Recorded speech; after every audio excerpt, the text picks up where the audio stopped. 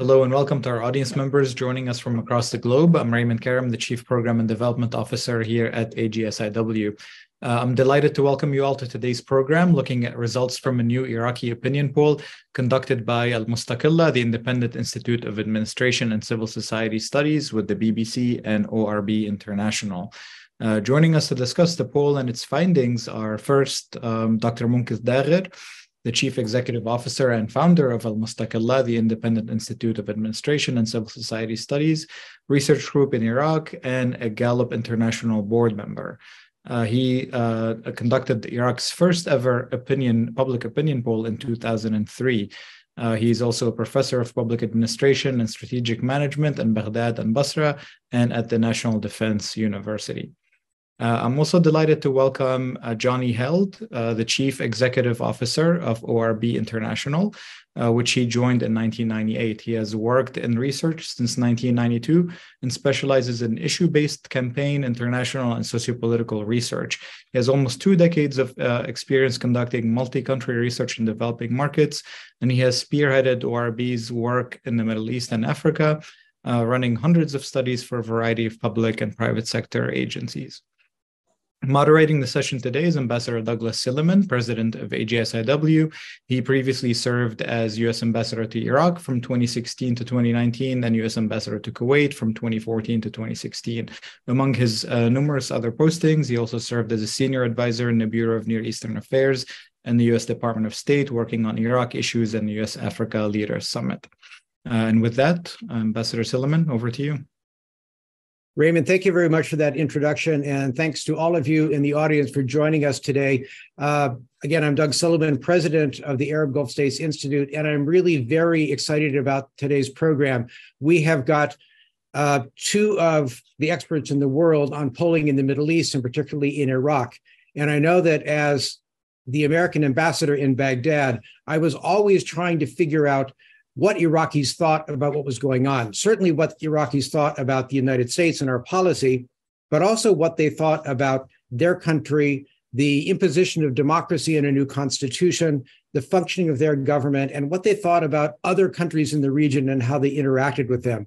Uh, we've got two very strong experts and two very good analyses to present to you this morning. And since we only have 60 minutes, I want to get out of the way and let uh, Dr. Munqith and Mr. Heald uh, present their uh, uh, their ideas and the results of the polling, and then get into questions. So, Dr. Munqith, if I can ask you to start by uh, giving us some of the results of the polling that you and uh, Johnny conducted. Thank you, Mr. Ambassador. I'm so glad to be with you today, and hopefully, we will uh, have a fruitful session here.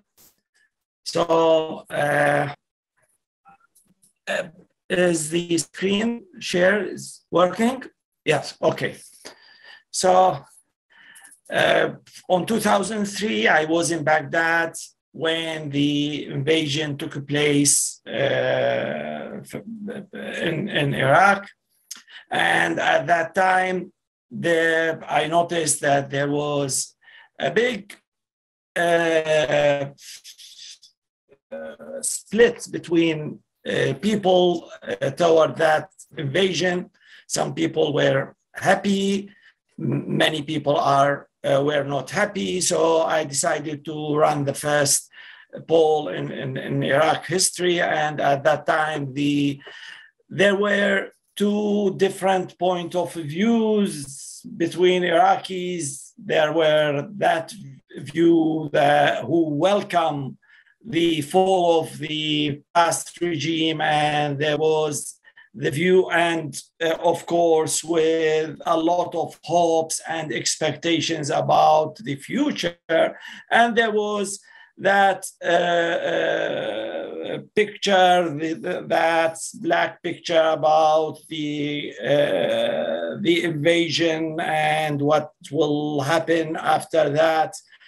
So after 20 years, I thought that it might be a good uh, uh, opportunity to revisit the Iraqi opinions toward uh, the, the invasion. What I will present uh, today is the result of uh, a poll that we conducted as Almustakilla Group uh, um,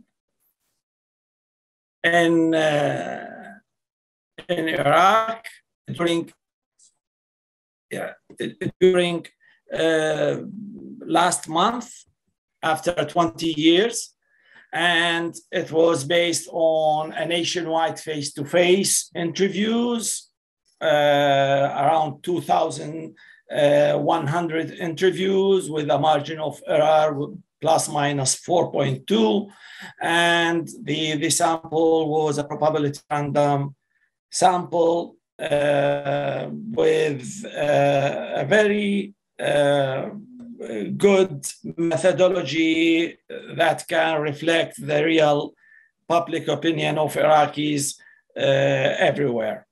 Now, uh, some of these questions that I will present here, I will compare it with Iraqis' views on 2003 so we can trace the, the change in the uh, in the views of Iraqis and in the perceptions of Iraqis towards the invasions. And some are uh, new questions that we asked about the last 20 years among Iraqis. Of course, as a company who are doing uh, almost uh, four to six nationwide polls every month since 2003, uh, we have a very rich data about uh, Iraqi perceptions, but here we will focus more on how Iraqis perceive the invasion right now after all these years.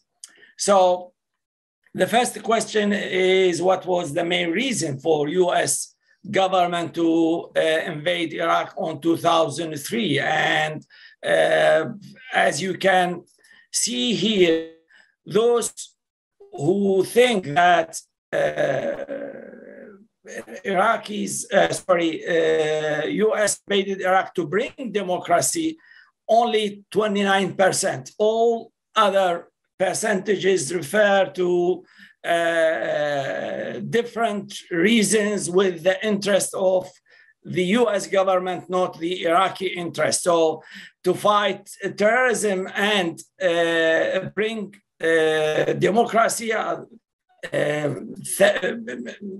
if we aggregate both, is 35%, while the vast majority, they think that it's to achieve the US economic interest or to overthrow the old uh, regime. So that means that uh, Iraqis' views toward the invasion uh, for the reason for the invasion is negative in, in general. How would you say Iraq is today compared to how it was before 2003? Would you say it has improved or worsened? As you can see, those who say that it's improved 58%, 41%, it's worsened. And uh, it's remarkable to, to, to see that the age differences, the, the perceptions of different ages are uh, uh, almost similar. And uh, for the analysis sake, we classified Iraqis to those who are less than 35 years old because those who less than 35 years old they didn't uh, live under Saddam regime, or at least they were not aware about Saddam regime uh, when uh, the invasion took place. So we wanted to, uh, to, to, to compare between those who lived under Saddam regime, who are more than 35 years or above 35 years old and less. So as you can see here, uh, the, the differences between the two groups, the older group and the young group is almost similar uh, uh, toward the, uh, the life under Saddam uh, or whether the life has improved or worsened. As you can see here, uh, those uh, under 35 years old, 58% uh, say that it's worsened. How would you say Iraq is today as compared to how it was before? As again, and some people, and this is very remarkable also uh, uh, thing, because at the beginning of the invasion, it looks like that Shias and Kurds uh, were more satisfied with the invasion than Sunnis. This was the general perception in, in general. But as you can see here, now those, the, the Sunnis, of course, those who say that uh, it's worsened or uh, are much higher among Sunnis, 68% saying that it's worsened, but also majority of Shias saying that it's worsened. Uh, uh, in comparison with those who say improved. It's only among Kurds, 60% uh, uh, say that it's improved. Uh, yet there is 37%, which is a big chunk of Kurds who still say that things uh, didn't improve. And please don't jump to a conclusion that uh, this means that people or uh, the uh, Iraqis right now prefer Iraq, uh, Saddam regime. Uh, let us wait for the next slides to, to have a better idea about uh, Iraqis' perceptions.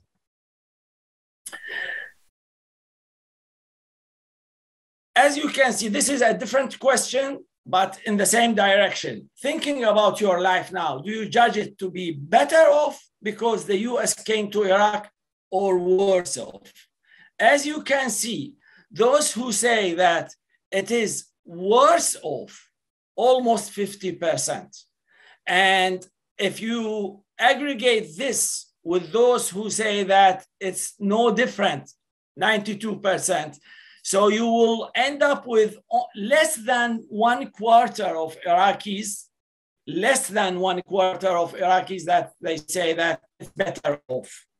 And this include Sunnis, Shias, and Kurds and all age groups. As you can see it here, you among among Kurds, the, the story is different Uh, as you can see, better off among Kurds is 62, but among Shias and Sunnis, both are very close.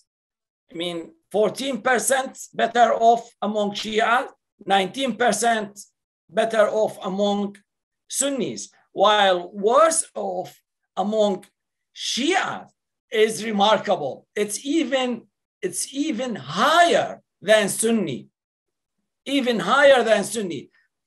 54% for Shia who say worse off uh, in comparison to 45 or versus 45% among Sunnis worsen off. And you have 20%, almost 20% among Kurds who say that it's worse off.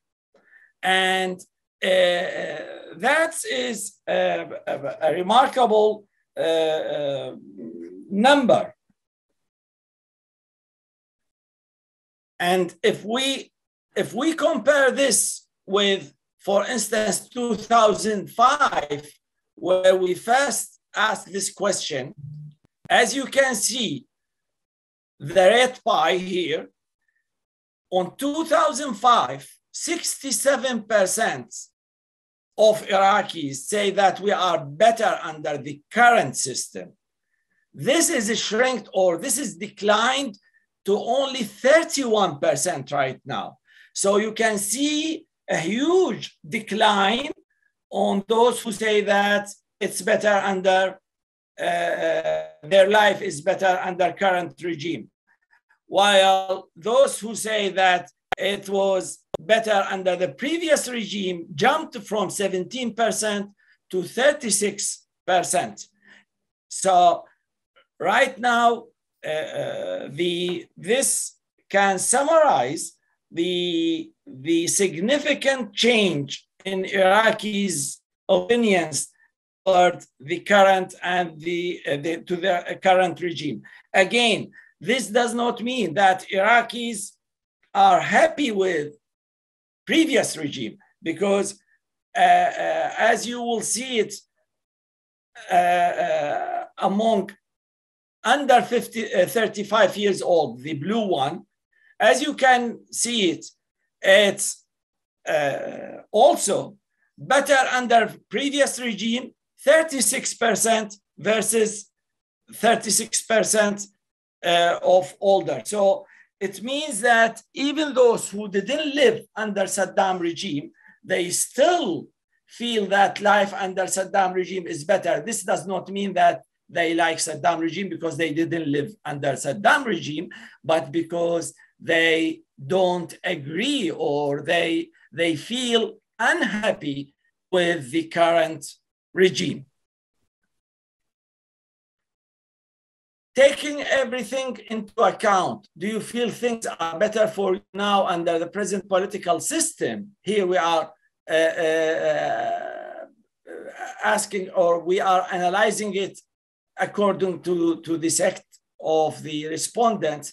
And as you can see it, again, it's not only Sunnis who don't agree with current regime, as you can see it, it became more and more among Shias and Kurds who also uh, express more negative opinions towards current regime than it used to be 10 years or 15 years ago or even 20 years ago when it started.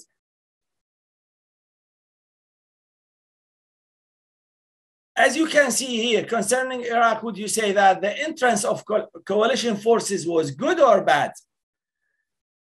64%, almost two thirds of Iraqis say that it's bad.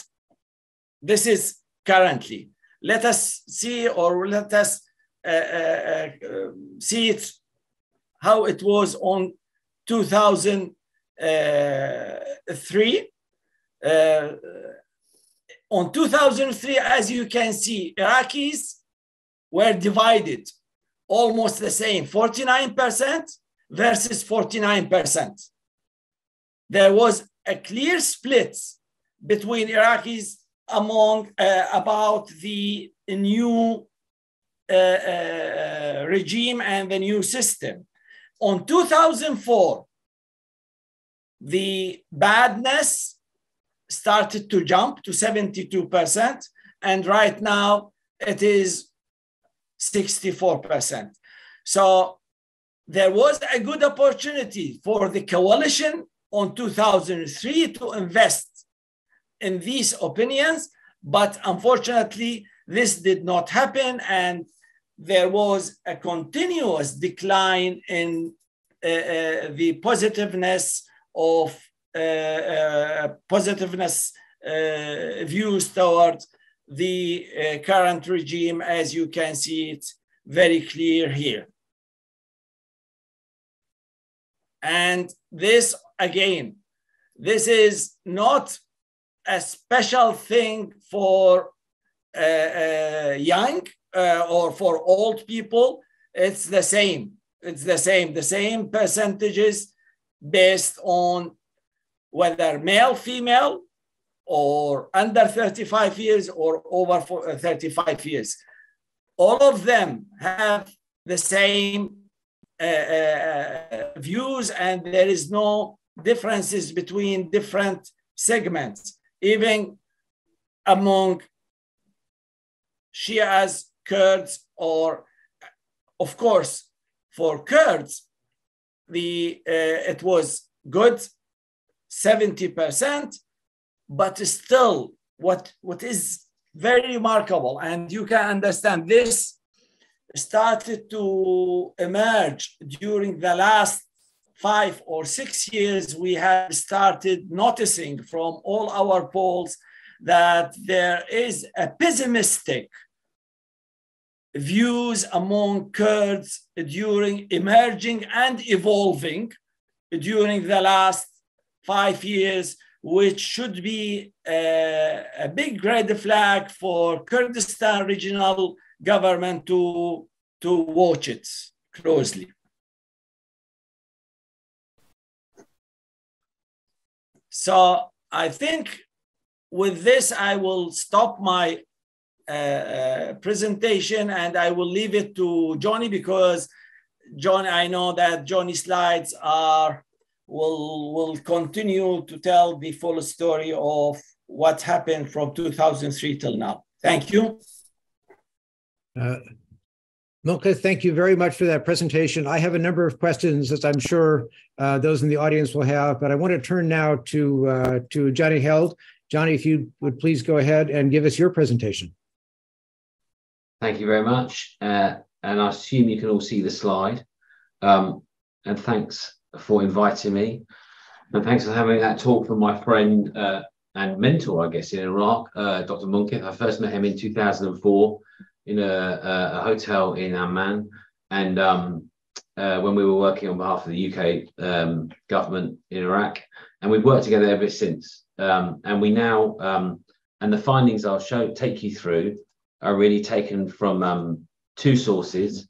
The one is the BBC poll that we just ran together uh, amongst 2,100 interviews, but also um, I'm going to take some data from uh, an ongoing, the largest assessment uh, that's ever been uh, carried out in Iraq, ongoing assessment, um, which is a product uh, we started um, uh, in 2014, 13, um, called Pelican which um, basically takes quantitative and qualitative opinion uh, throughout Iraq. Because it was um, because of the time it was started, it was focused uh, more so on the Daesh areas, so uh, Anbar, Nineveh, um, Salahadin, uh, Baghdad, but it's expanded out. So it's not truly nationally representative. It doesn't cover all 18 governorates, but it's a large sample size, uh, 3,000 now every month. Um, uh, and it's um, it has that ongoing uh, data trend.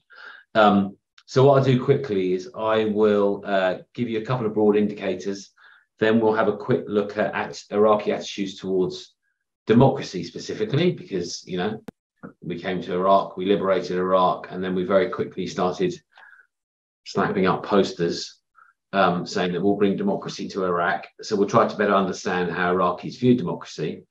Um, and then we'll look at um, Iraqi attitudes towards the uh, range host of foreign um, countries, partners, influences that have um, that are in Iraq.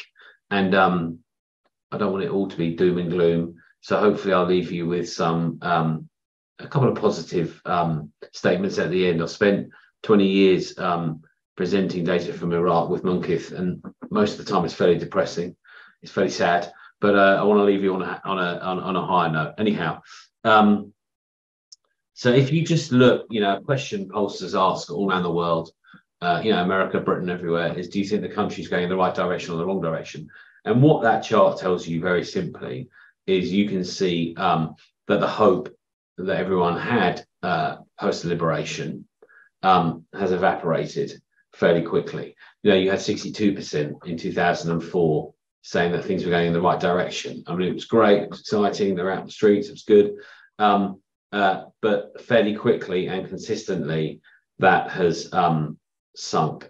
Um, the last measurement on this chart was taken in August 22, but even even there, that shows you that opinion was almost as low as since records began. So, although, and I'll show you in a minute, you see an uplift every time you get a new prime minister in Iraq, actually, relatively speaking, August 22, it was almost as bad um, as the days pre EU ambassador. Um, uh, 14%. Now, by way of comparison, in America today, you would get about 20% of people saying things were going in the right direction. And in Britain, you'd get about 16% of people saying, saying things were going in the right direction.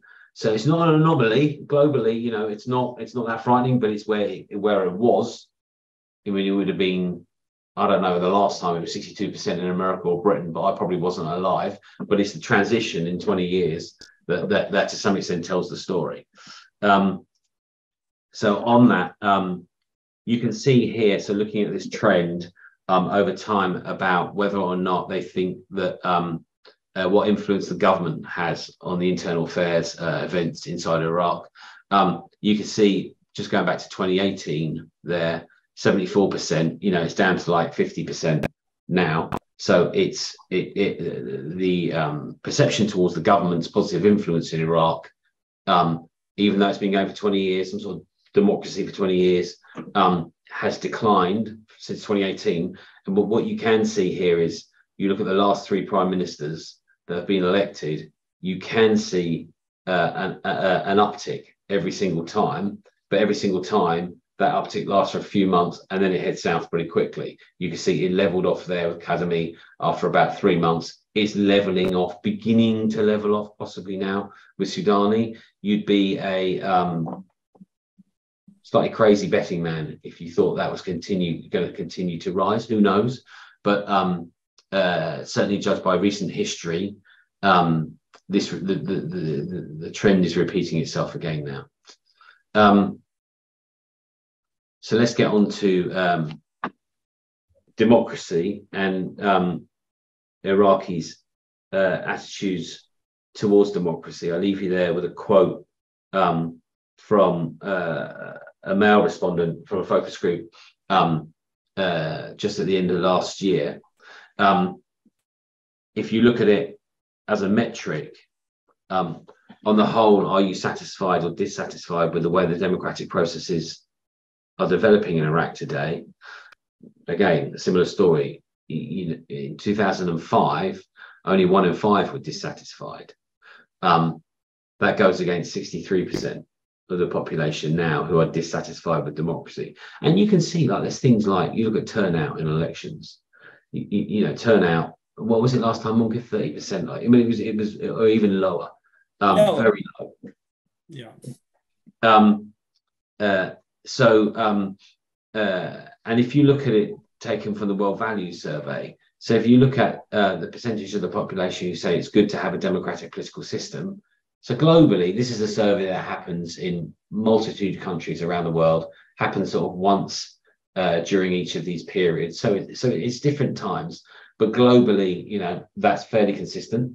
Going back to 1995, look at the drop there in Iraq and look at the relative drop compared in Iraq compared with the Middle East, the other countries in which the poll takes place in the Middle East, um, is significantly lower. But then look at the doubling between 2014 and 2017 to 22, doubling the percentage you, pay, you say it's good to have a strong leader. And we'll look at some of the nostalgia around the Saddam uh, period among those who weren't even alive then. Um, that might help us better understand that. But again, 66%, it's significantly higher than anywhere else polled uh, in the Middle in the Middle East. Um, so really, um, I mean, based off um, some quantitative data, but also a series of um, ongoing focus groups, um, the conclusion really is that Iraqis um, are struggling to detach the perception of what functional democracy is uh, with their experiences experiences of it um, so far. They um, kind of see it offering two key pillars, um, if you like. Um, and one of those is definitely that the government um, is able to provide for people, it provides for all. So uh, whether it's electricity, jobs, education, um, rule of law, etc., that's how they perceive um, one of the sort of foundation pillars of, of democracy. And I mean, ironically, that is exactly what Saddam was great at doing. You know, they'll say to you in focus groups, you know, even in the darkest days, the electricity was never out, or I always got bread, or there was always something to eat. You know, so so so what they what they're experiencing now, often uh, in the struggles over the last few years, um, is very different to either what their parents had experienced or what they've read about in books under those Saddam days. Um, and in the focus groups, the second um, pillar or cornerstone of democracy is um, said to be freedom, you know, freedom of movement, freedom of expression, freedom of speech, etc. And to them, that that's uh, respecting all tribes, all religions, all ethnicities, etc. But but with that also, there is a um, there are a number of concerns um, that are front of mind. So, for example, what about too much expression? So, why should I? Why should someone come into a mosque not dressed appropriately? Or, as you see now, um, some of our adversaries in the region are um, pushing quite heavily and dialing up um, LGBTQ plus coverage in the West. Because they, they know those issues don't play very well in the Middle East and, you know, and indeed in other parts of Africa. So, um, although they see um, freedom as a core pillar of democracy, um, they certainly don't like to feel that freedoms are being pushed upon them. You know, which fair enough in a 20 year period is it, you know it's very difficult to get your heads around. Look at the way our attitudes towards homosexuality. Look how long it took that you know those to change. Um, so um, it's a tricky relationship with democracy, um, which is why you, as Munqith just showed um, very smartly, why you see now um, there aren't majorities of people saying life is better now than it was under the uh, previous regime. Um, those who think that authoritarianism is good, and that includes young Iraqis who who um, who, who, had never um, been around under Saddam, hear about, read about, are told about high levels of employment, better infrastructure, electricity, etc. Uh, under Saddam. Um, so for many, not even born 20 years ago, there is still uh, a nostalgia, and they want someone to take control of their society, um, to ensure their security and to rid Iraq of, of, of the negative influences and, and, and indeed uh, the militias and the upheaval that they faced over the last 20 years. Um, I think it's fair to say that they acknowledge that authoritarianism is also restrictive. I mean, clearly, if you go up and ask the Kurds about, you know, about it, you get a very different um, response or a, a slight, a, a, different response to might you might get among potentially some of the Sunni population, but um, uh, they're aware that it was restrictive, but at least they were safe. Broadly, I mean broadly, um, there was a there was a line, and and if you didn't cross the line, um, I think broadly you'd have been okay. You certainly would have had electricity. You certainly would have had food. You probably would have had a job and some kind of money. Um, and on the bottom here, it's quite interesting. They kind of view um, Iraq and Saddam on this kind of uh, spectrum. So while there's no de- debate that Daesh or um, Iranian uh, military groups are considered to be authoritarian, um, uh, Joe Biden, President Biden, therefore by extension the USA, are not understood, you are not considered to be the perfect democracy because for example, they'll tell you that um, why is he banning Iraqis from coming to the country?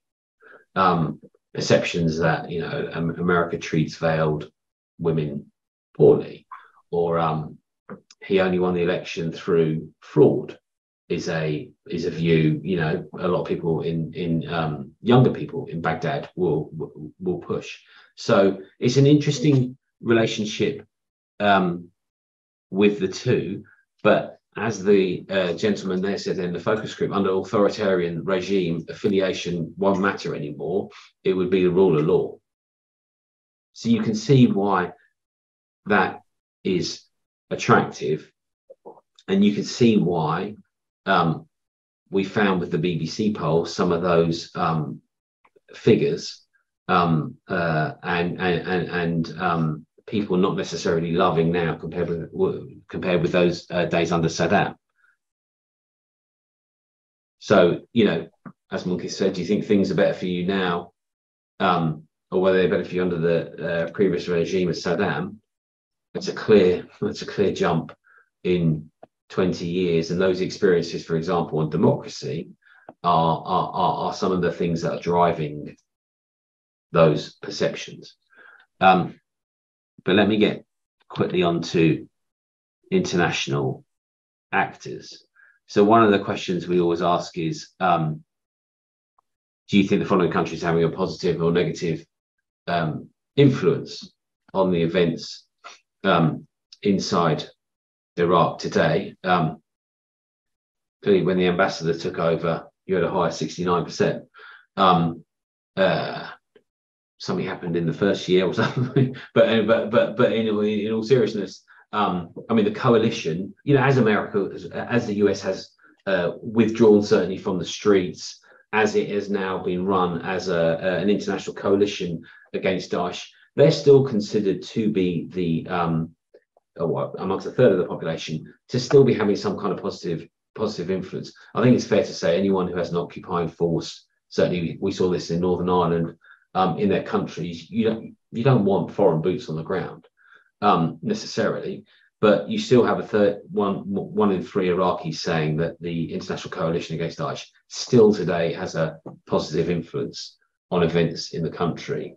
And you compare that, you know, as Munqith said previously, if you look at the yellow line, you look at the Iranian uh, influence, despite the control essentially they have not only over politics but also over media and therefore the ability to influence opinion, um, you see you see um, remarkably low levels of the Iraqi population who consider Iran to be having a positive influence. One of the numbers clearly we're tracking quite closely um, globally, but also in Iraq, it, you know, is Russia, uh, you know, and, and also China. Because if you put the two of them you put the previous slide and that slide together, you can see, I mean, China, for all their economic might, you know, are certainly within the margin of error neck and neck with the international coalition in terms of having a positive influence on the internal affairs. Um, so, final couple of slides. Um, because I've got to leave you with something positive to chew on.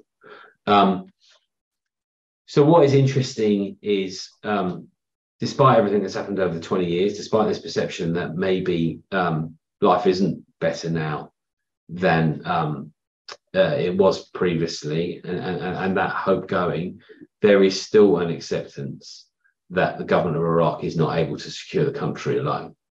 So therefore, we do need to have some kind of coalition presence in Iraq. So NATO are there, obviously training.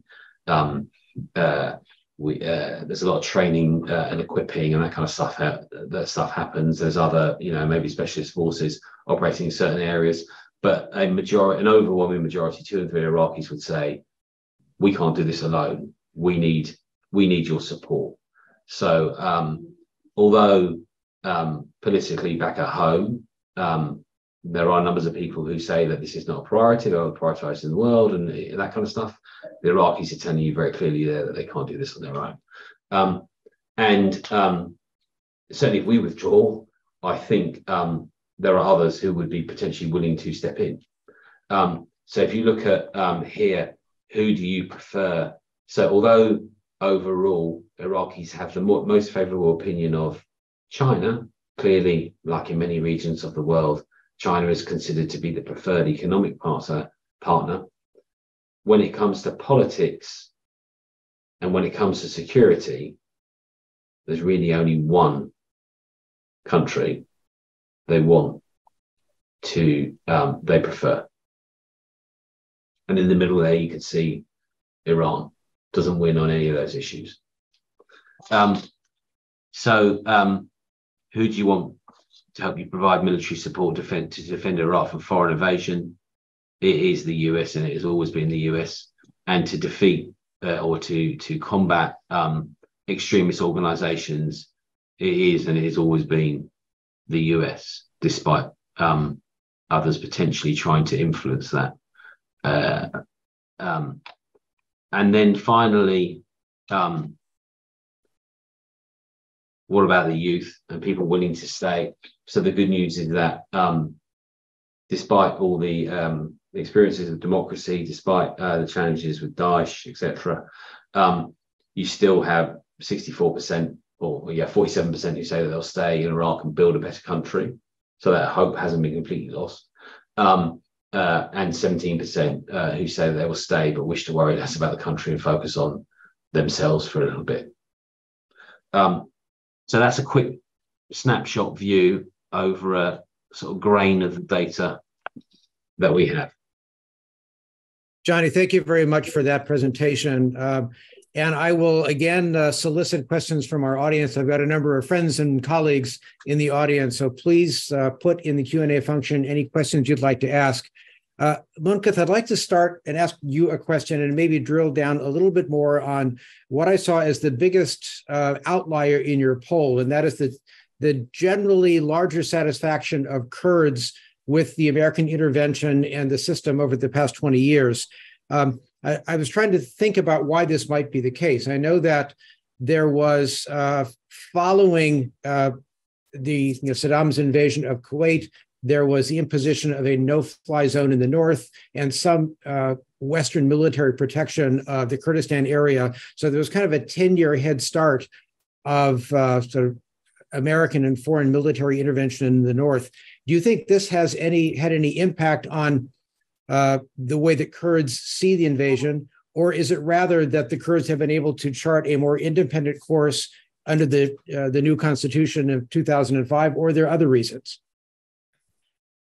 Yeah, I think it's a mixture of the two reasons that you, you just mentioned. First of all, uh, Kurds feel favored for the uh, U.S. intervention uh, intervention in 1991 with no-fly zone areas, and they were almost independent uh, area at, at that time and uh, also the, uh, the, the constitution and the good leadership uh, uh of the government of the uh, Kurdistan made it made more hopes and more prosperities to to people uh, Erbil, Suleimania, and Duhok uh, can be perceived as more developed uh, areas in comparison with Iraq, less violence there. Yes, there are violence, there are some, but in comparison with with other areas, they enjoy a uh, better life. Yet I can see that, uh, as I've told you, that there are some red flags that should be uh, uh, took in consideration. Uh, especially when it comes to corruption, uh, when it comes to bad governance. Uh, I can see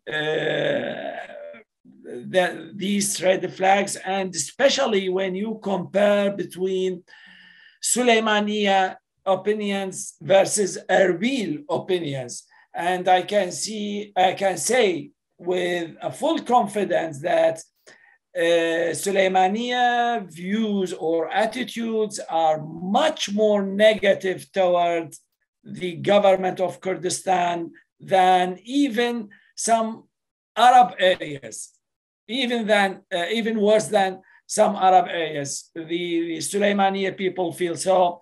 Uh, here uh, we were not able, or uh, I felt that it might be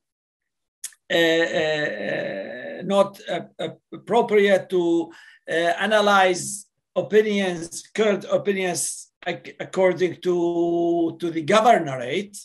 Uh, but if we break down the numbers, we will see an evolving uh, unhappiness, uh, evolving concerns among Kurds as well, especially in uh, Suleimania. Uh, maybe uh, and perhaps Johnny with you as well. Uh, did you break down at all the opinion polls on the desire to have a strong leader by region? In other words, did the Kurds measure similar uh, nostalgia for a strong leader as the Arabs did, or were they more or less supportive of a, a strong leader in Kurdistan? Yes, I analyzed it uh, according to the yes in uh, still in Kurdistan, uh, though it's less than Arab areas, but still more than 50% of uh, uh, Kurds also they uh, they feel uh, this nostalgia uh, toward uh, a strong Uh, leader. It's, uh, and there, there is also uh, another concern number or worrying number a different question which asks people about whether they prefer um, military or strong leader who don't care about parliament and uh, who don't care about parliament and you have almost around 70% of iraqis who support having a strong leader or uh, uh, military uh, people control the, the government. And I can say that nowadays, if anything happen, and uh, I would not like to see that day, but if a military coup or a strong leader take control of Iraq, then you will see Iraqis in the streets welcoming this change. That's why we are very open to any dictator right now. I think, and I think, I think that pattern's being repeated globally. You know, I mean, you saw in the World Value Survey, thirty-five percent preferring a strong leader, up to forty-four percent. That's globally. You know, we've all had our experiences, President Bush, Prime Minister Johnson, of strong leaders. But um, uh, you look at the coup season going on in Africa, right? I mean, look at Sudan today. Look at Mali, look at Burkina Faso, look at Central African Republic. You know, there is they've had more coups in the last couple of years than they had for the previous 20 or when I was a kid, it was coup season. That kind of coups went away. There's been a huge um, increase in um, military coups um, around the world. So yeah, I wouldn't be surprised if you had that in in, in Iraq. Um, people would be out on the streets. And, and, Johnny, I want to dig down a little deeper on some of your uh, poll data as well. I think mostly from the, the Pelican polling. And while I would like to think that my presence in Baghdad was the reason for the high opinion of the United States in the middle of 2017, I think it had a lot more to do with the recent defeat of Daesh and the perception that the international coalition and the U.S. military had played a significant role in, in the defeat of Daesh. Um, maybe the, uh, this is this is my question. To what do you attribute uh, the ups and downs of public opinion polling with the United States, as opposed to the relatively flat lines for China, for Russia, for Iran in the polling that you've done? Is there a reason that uh, the international coalition, American and European uh, opinions, have been fluctuating more than these other uh, these other countries, particularly Iran, which seems to have been uh, pretty consistently negative.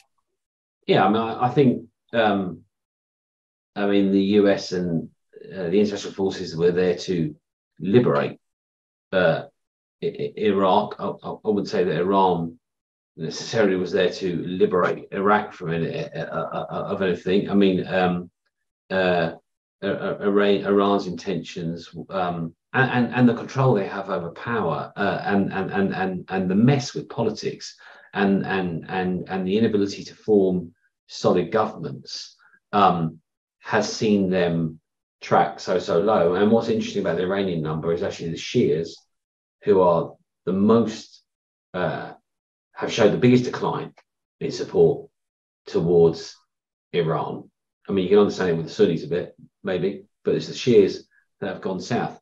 But um, I think um, people um, uh, if you live in um, a conflict area for um, however many years, uh, you can see who they prefer to be the, the, the, security partner. You have the firepower and the number of people. I think, yes, it has fluctuated, but you still remained higher than the other main um, superpowers uh, in the region. I don't know what you think, whether you have a different angle on that. Maybe not well, let me ask another question to the two of you. Um, I, I, the Pelican polling basically focused, uh, Johnny, on foreign actors, not uh, sort of domestic actors tied to a foreign country. Um, I remember at that time when the United States was riding high in public opinion polling when I was there. So is the opinion of the counterterrorism service, of the Iraqi army, um, and the popular mobilization forces, even though they remain very politically tied to Iran and got a lot of Iranian support. So I know it's not in the polling, but can either of you address whether or not opinions of the popular mobilization forces, the political parties associated with them, or generally uh, a pro Iran or pro uh, Wilayat uh, groups in Iraq have changed this significantly over the same periods? Uh, yes, uh, here uh, the we should differentiate, or Iraqis differentiate between the PMF uh, and the population uh, forces and the Iranian supported militias. So Iraqis for Iraqis, the PMF is part of the uh, of the Iraqi government or military uh, forces, and it is a formal uh, forces, and it is established based on Al Sistani uh, fatwa. So for them, uh, the perceptions toward or the attitudes toward the PMF is still very high, though it declined, but not very much. It declined, but the uh, feelings or the attitudes toward the militias or the parties related to these are very negative. So uh, if, if you ask about the PMF to Iraqis in general, the support is almost between 60 to 70% uh, among Iraqis. Uh, but if you ask about any militia or any party related to any militia without specific name, you will always have something between 10 to 20% only support, even among Shias. So uh, there is a different uh, attitude uh, toward uh, both entities. I would only I would only say um, so. We do track sentiment towards the PMF and towards the CTS. Um, so um, I mean, the Iraqi army historically have always been considered to be strong, well educated. Um, although um, people historically, quantitatively, um, used to say that the Iraq had they they were favourable and had faith in the Iraqi police. Qualitatively, you'd hear something very very different under the influence of Iranians, lies, cheats, etc., etc. But in terms of the PMF, um, it's about three and five who think that the PMF are strong, and, and, and that's as much in like Nineveh and places like that, you know, Sunni heartlands. Um, uh, it's uh, more people, about 75% of people think the CTS is strong, uh, and that compares with the government of Iraq, which is about 35%. So you can see, you know, I mean, you've got two institutions there who are tracking double the government um, perceived to be strong. Uh, I, I, will uh, throw in an observation. We have a question from Rashid Islam, who joined us a bit late uh, from Bangladesh. Uh, for those of you who may have missed uh, the initial presentation that uh, Dr. Munqith made, if you will send an email to info at agsiw.org, um, we will send you a copy of Dr. Munqith's uh, uh, polling results. It does show surprising unanimity, however, among different ethnic groups, among different age groups, and among genders, with the one outlier that I asked about being significant different results from Iraqi Kurds. But again, we can we can send you the results of that polling if you will send us a uh, uh, uh, an email to info at agsiw.org. Uh, also, this uh, presentation will be is being recorded and should be up on our website uh, by tomorrow. So if you want to go back and hear the first part, Dr. Munqith's presentation and, and Johnny Heald's presentation, you can do that as well we are down to about five minutes left, and I'm afraid I, I want to ask a, a, maybe a counterintuitive question to each of you.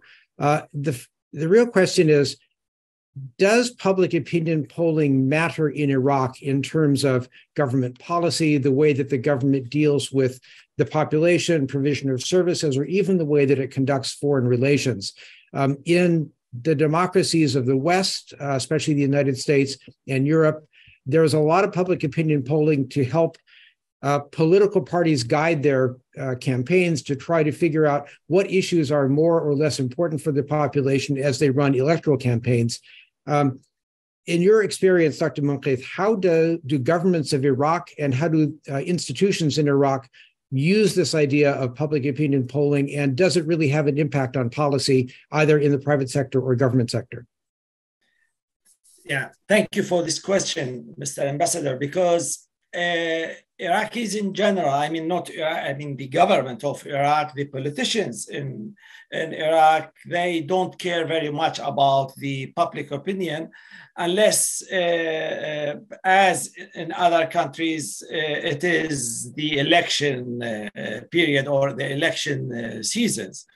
Uh, unfortunately, uh, for me, one of the big mistakes of United States is to make made it very easy for Iraqi politicians to uh, understand uh, or to provide them with data about Iraqi perceptions, Iraqi attitudes. I mean, the the formula was always like that. You have big American institutions like IRI, NDI, uh, different institutions conduct big surveys and then provide the data, go to uh, Iraqi politicians to educate them about public opinion. So why they bother themselves? They already have the uh, the, the data and with the uh, uh, old dictator trend among Iraqi politicians that they think that they knows better than Iraqis, they knows better than their people. So why they they have to use the data about public opinion. But during last uh, couple of months, it's it was astonishing to me to be approached by a couple of Iraqi institutions for the first time after 20 years to conduct polls for them. This is a significant change. And I think the uh, uh, wide coverage of international media outlets to Iraqis uh, uh, public opinion made these politicians eventually think that it is better for them to, to understand Iraqi uh, uh, Iraqis' attitudes. But in general, till now, after 20 years, I have not been approached by any Iraqi politician or party or institution to conduct any poll for them, unfortunately. I would only say that, um, um, listen, 70 years ago or 60 years ago, something Dr. George Gallup said that if democracy is the will of the people, someone should go out and measure it. Right. So you need opinion polling to better understand public perceptions. Um, the Middle East is littered with cases Mubarak, Ben Ali, um, Abdul Saleh, who ignored public opinion. He was literally forbidden in Egypt to ask the approval rating of Mubarak. You can argue he had no idea exactly how much resentment there was to him and his regime, and then it all kind of toppled.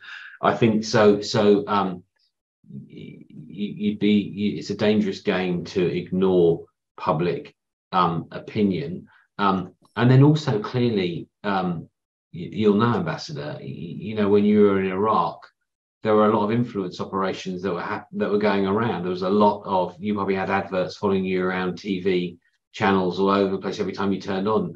Um, you know, you need to to to measure the influence, the impact, the effect of those campaigns that you're using, whether it be to unite Iraqis and say to them, look, we're all one, we're Iraqis, we're not Sunnis or Shias, or whether it's to promote democracy or whatever it is, or undermine the Daesh or whatever it is you need um, public opinion also to um, measure the effectiveness of of your campaign and, and you know and therefore your taxpayer dollar.